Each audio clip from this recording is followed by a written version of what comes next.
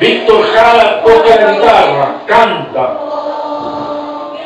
Los obreros te cantando. Ven seremos. O la tumba contra la opresión. Y o la tumba será perdonible. O el asilo contra la opresión. Y la tumba.